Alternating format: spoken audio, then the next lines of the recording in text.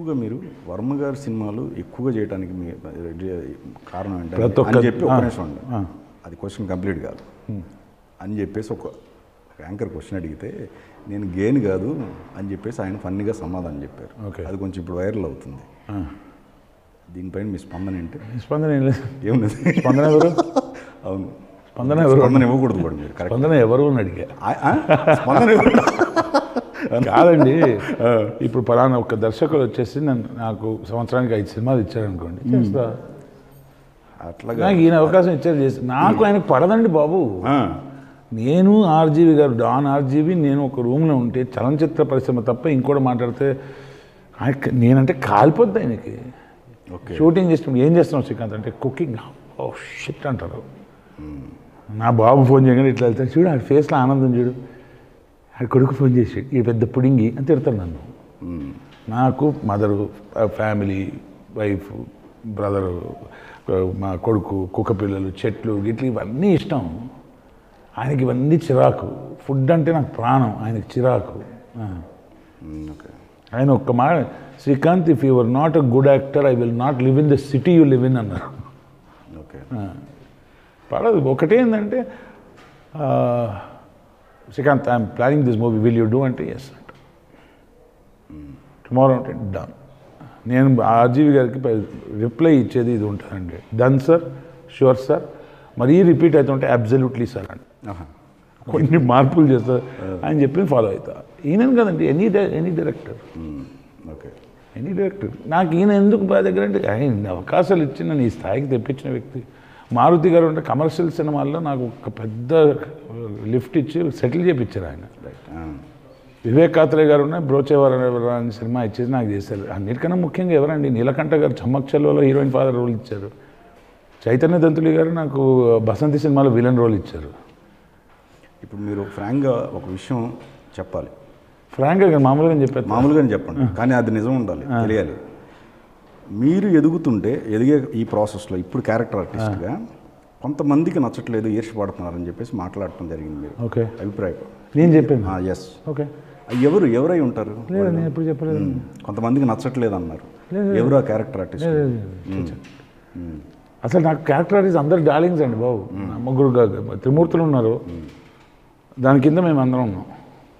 ఆ త్రిమూర్తులు నాకు దేవుళ్ళే. దాంట్లో నేను బాగా పరిచయం ఉన్నవారు రమేష్ రావు రమేష్ గారు.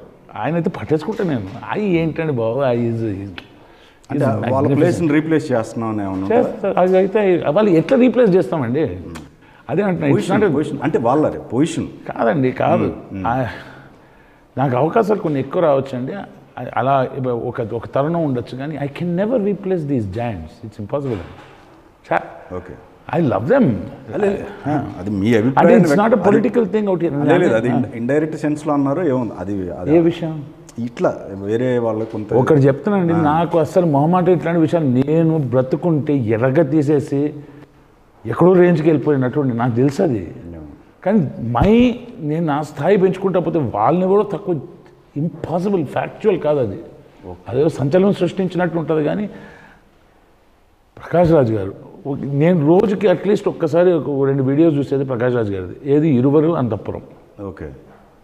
ఏంద్రా బాబు ఎట్లా చేస్తాడు అని అది ఒక యాక్టింగ్ లెసన్ నాకు.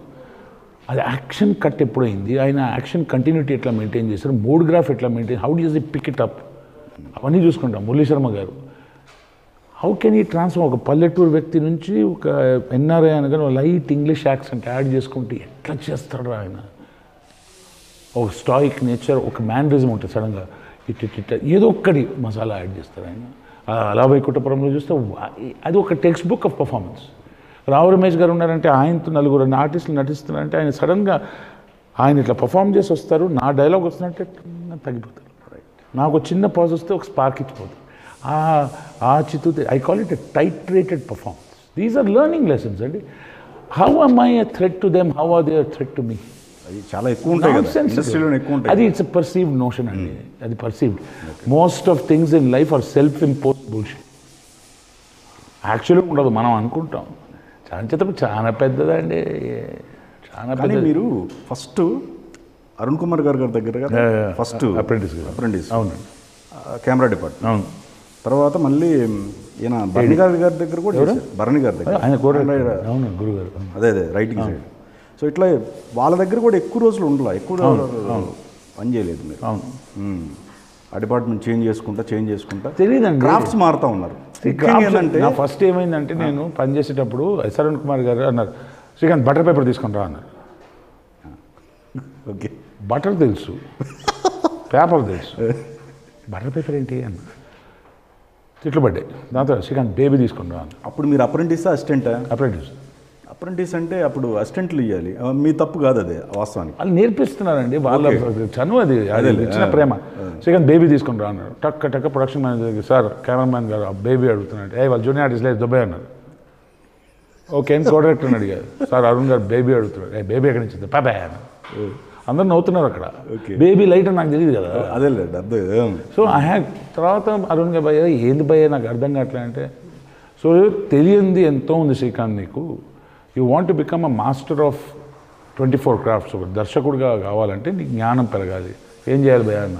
ఆలోచించు ఏం చేయాలో నీకు తెలుస్తుంది అన్నాడు లైట్ గురించి తెలియదు మేకప్ తెలియదు సెట్ తెలియదు ఏమీ తెలియదు ఏం చేయొచ్చు?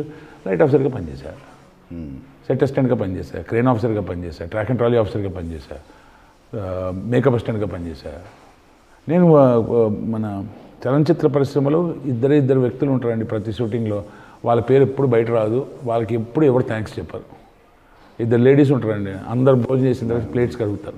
మా అక్కలు I did their job also production అంటే ఎంత ప్రొడక్షన్ వాళ్ళు క్లీనర్స్ ఉంటారు. ఎంత కష్టమైన జాబ్ నాకు తెలుసు అది. Because I oh three days చేశా. త్రీ డేస్ చేసిన తర్వాత వాషర్ మ్యాన్ హ్యాండ్స్ అంటారు. మొత్తం ముడతలు ముడతలు ముడతలు అయిపోయి ఏందక్క ఇట్లా అంటే? తప్పదు కదా బాబు అంటారు. అంటే కొంచెం కూడా ఇమాజిన్ ఇది చేసి ఇంటికి వెళ్ళి మళ్ళీ గిన్నెలు కడగాలంటే what I mean great lifes so ఇవన్నీ చేసిన తర్వాత ఓకే జ్ఞానం పెరిగింది దర్శకత్వం. బేసిక్గా ఏంటంటే అది తప్పుల పుట్ట ఇది కూడా శ్రీకాంత్. అన్ని రాంగ్ రూటే ఏది చేయాలో అర్థం కాక ఇంగ్లీష్లో వర్డ్ ఉంది. ఐ వెంట్ బజర్ రన్ అమ్మా